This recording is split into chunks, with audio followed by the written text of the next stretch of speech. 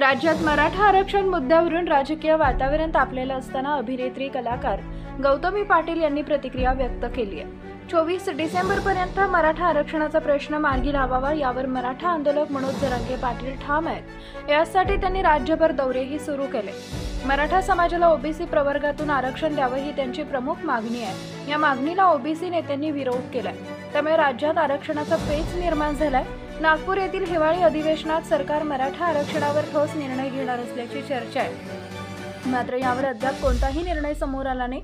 मराठा आरक्षण मिळालं पाहिजे मलाही आरक्षण हवं आहे असं गौतमीनं केलंय. ती प्रसार माध्यमांशी संवाद साधत होती.